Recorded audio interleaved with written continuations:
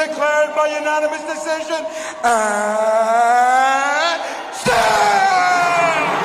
Reigning, Bharat की बन है चैंपियन पिछले बार इस्तांबुल में जीता था गोल्ड मेडल और इस बार अपनी सरजमीन नई दिल्ली में वियतनाम की थी चैमनू को हराकर लगातार दूसरी बार बन गई है विश्व चैंपियन बिल्कुल 28 27 28 27 28 27 उनतीस, छब्बीस और 28 27 पाँच शून्य ओवरऑल अगर देखा जाए तो।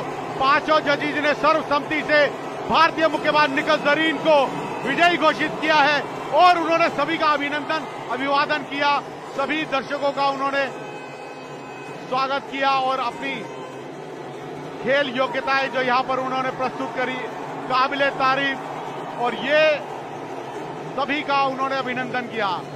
भारतीय मुक्केबाज से यही आशाएँ थी आनंद, और उन आशाओं पर पूर्ण उतरी है दूसरी बार स्वर्ण पदक विजेता।